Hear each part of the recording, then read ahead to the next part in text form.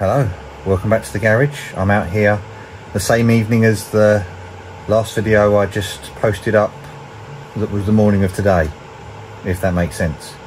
Anyhow, um, yes, more painting. Oh dear.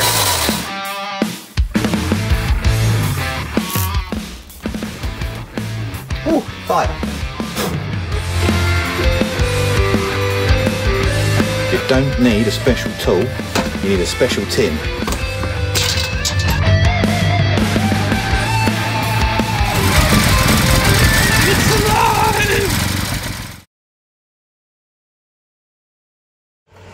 Okay, just to give you an idea of how uh, the paint has gone on um, since uh, this morning,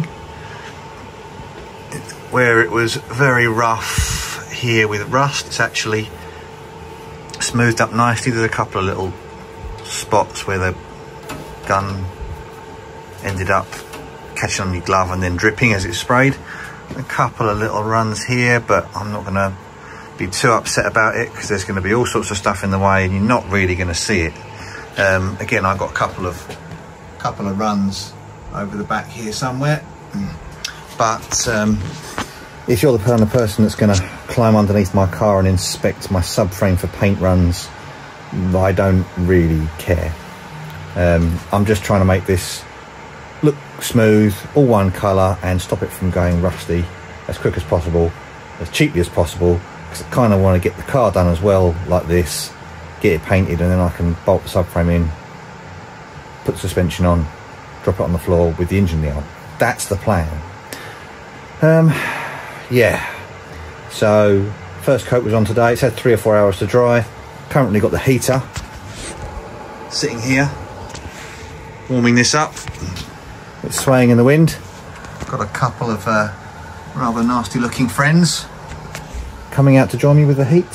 So um, yeah, I'm going to uh, take off the really ugly bits like the drips and stuff like that. I'll leave the runs because I don't care. And I'm going to put another coat of paint on this. So uh, yeah, let's go. Okay, so I'm going to put in a bit of a disclaimer here. I'm going to say safety first. Um, earlier on today, I was spraying out in the open, didn't have a mask on. There was a bit of a breeze around. I was always upwind of where the paint was, it didn't matter. But in here, I'm in a confined space and um, the stuff gets a bit nasty. Um, everyone's done a bit of spray painting in a garage and gone and picked the grey coloured or whatever coloured bogies out your nose the the next couple of few days afterwards. It's not pleasant and it's not clever and it's not good for your lungs. So uh, on the way home today, Ooh, I picked one of these up. so I'm going to be breathing a bit like Darth Vader in this. But yeah, get yourself a, uh, a decent mask. It's always worth doing. This was only a few quid from Screwfix, so uh, yeah, get one and stay safe. Right, let's do this.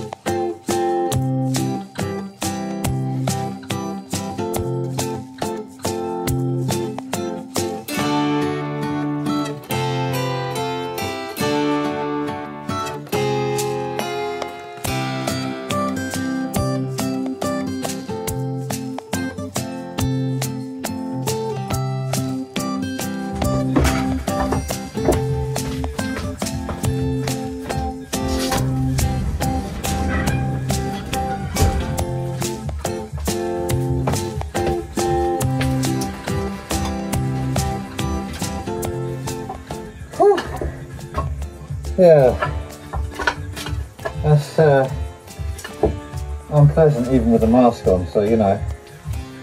Yeah, let's let the air settle down a little bit. Yeah, so as you can see, it's a little bit hazy in there still. Okay, let's have a look at what we've got.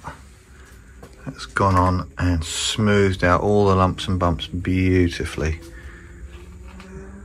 Really pleased with how that's gone on. There's a couple of little runs in this section here, and if you get really close, but I'll be honest, you ain't going to see that. So, uh, especially not once it's black as well. Um, there's a couple down in here, but again, the engine's going to be in the way. Not going to see it. Hasn't got to be perfect. I even managed on this one to get all inside here, which I'll be honest, that was an absolute pig to clean all that out. So, uh, yeah, really happy with how that's gone on. And um, yeah, and the sides here really happy with how that all looks. Managed to get a nice amount of paint into all of the uh, crevices. I made sure I've sprayed paint down into these gaps here at downwards angle and straight angle and I've gone into the sides each way on both them. So, and this was also um, painted with uh, weld through primer before it went on as well. So it has got a, it's not just bare metal on the back edge. It was a uh, painted edge and the whole inside of this was also um, weld through primered before it was done. So um, yeah, fingers crossed that will now um, prevent any further rust from happening to the subframe. But also when I get the uh, the black paint on, it should look good. It's, it's, sort of touch dry. I mean, I've been sitting outside now in the garden catching some fresh air for uh, probably 20 minutes and um, it's it's touch dry already. I mean, it's, it's nice time of year to be doing this. It's, it's a good 20 degrees even this evening. So, um, yeah, it'd be nice if I could get a coat of black paint on, but I think some of it's still going to be a bit too soft. It does say uh, on the uh, packaging here, um, if I can find the bit, yeah, hang on a second.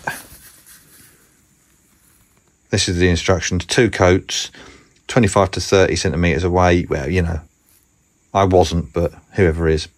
Um, recoat two to three hours, spray in light even strokes, yada, yada, yada, yada. Allow surface to harden completely before applying your chosen paint colour. So uh, I reckon that's me now for the next uh, few days. I'll have another crack at this at the weekend. I'll leave it hanging up here. Um, just got to repack all the bikes and stuff into the garage. And then uh, yeah hopefully the weekend I'll get another five minute video or so up of getting the colour on the subframe. Thanks for watching and I uh, hope I haven't waffled too much for this one and I'll uh, I'll see you on the next one